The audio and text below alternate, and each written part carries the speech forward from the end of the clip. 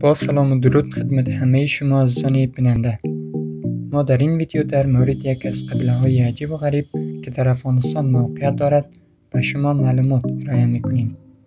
قبیله عجیب و غریب واقع در شمال افغانستان موقعیت دارد.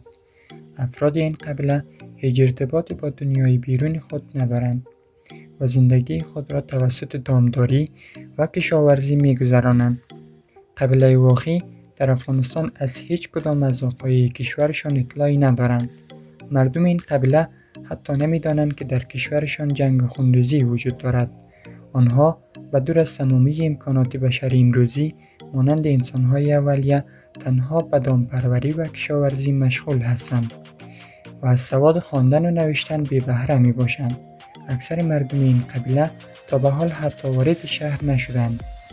هیچ تعریفی از این واژه در ذهن خود ندارند آنها حتی نمی‌دانند طالبان کیست و امروز در کشورشان چی میگذرد این قبیله حتی وقت دچار بیماری می‌شوند با برگ های گیاهان خودشان را مداوا می کنند و از ساده ترین امکانات زندگی محروم می باشند. قبیله واقعی در کوههای بدخشان که در نزدیکی مرز پاکستان واقع شده است روزگارشان را می گذرانند. حدود دوازده هزار نفر در این منطقه سکونت دارند.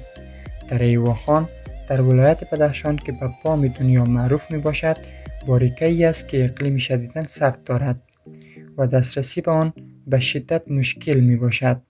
این منطقه با کوههای تاجیکستان و پاکستان هم سرحد می باشد و تا مرز چین امتداد دارد.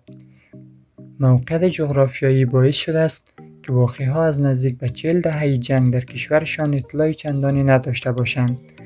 از کشورهای مجاور می توان در سفر سخت با پای پیاده یا توسط اسب و گاومش از کوههای پامیر جایی که سه بلندترین سلسله کوهها به هم نزدیک می شوند به این منطقه رفت. واقعی ها که در افغانستان زیر عنوان پامیری ها نیز شناخته می شوند بخش اعظم جماعت این محله را تشکیل می دهند قبیله کوچی قرغز که شمارشان به 1100 نفر می رسد در انتهای شمالی این منطقه زندگی می کنند. واقعی ها مسلمان می باشند. ها مسلمان های معتدل شاخه اسماعیلیه زیر رهبری یاغو خان هستند. این مردم برقه یا چادری را نمی شناسند که پوشش معمول زنان در بسیاری مناطق افغانستان می باشد. زندگی این مردم دور افتاده که آری از خشونت و جرایم است از نظر مالی متکی بر گله های گاو و گوسفند می باشد. آنها در بدل گاو و گوسفند از محدود تاجرانی که به این منطقه می روند برخی اقلام مواد غذایی و لباس می خرند. واقعی ها چون برق ندارند به موبایل و اینترنت نیز دسترسی ندارند و غالبا در سراسر منطقه توسط مخابره واکی تاکی ارتباط برقرار می کنند. آنها گاهگاهی می توانند از طریق رادیو با دنیای بیرون وصل شوند که به خبرهای افغانستان برنامه های روسی و موسیقی ایرانی گوش می دهند. اما وقتی که شارژ باتری های رادیویشان تمام می شود مجبورن منتظر بمانند تا دستفروش دوباره به منطقهشان برسد. اما با توجه به این که درجه هوا در 300 روز سال زیر صفر می باشد زندگی در این محله بسیار پرمشقت می باشد. حتی یک بیماری عادی مثل زکام می تواند به مرگ منجر شود.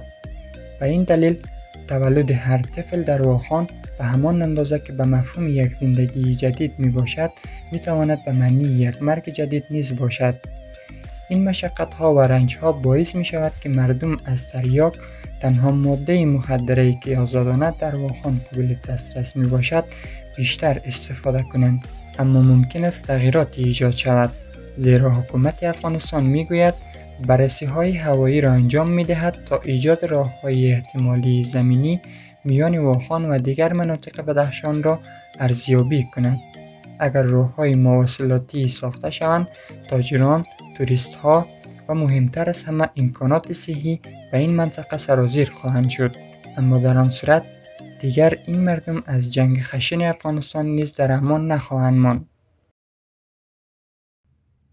تشکر از اینکه تا پایان این ویدیو با ما همراه بودید و برای دیدن ویدیوهای بیشتر channel افغان بان را subscribe نموده و علامه زنگوله را فشار دهید. تا از تازه ترین ویدیوهای ما آگاه باشید.